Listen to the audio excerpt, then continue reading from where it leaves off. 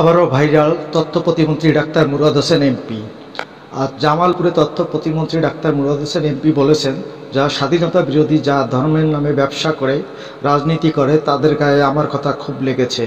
আমি এমন কোনো কথা বলিনি যা আমার প্রিয় ধর্ম ইসলামের বিপক্ষে যায়। তিনি বলেন, সংবিধানে ইসলিমা ও রাষ্ট্র ধর্ম ইসলাম থাকতে পারে না।